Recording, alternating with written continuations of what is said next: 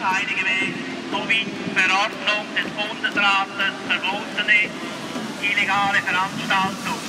Beenden Sie die Demonstration sofort und verlassen Sie unverzüglich die Örtlichkeit. Bei Missachtung dieser Anweisung machen Sie sich wegen Durchführung einer verbotenen Veranstaltung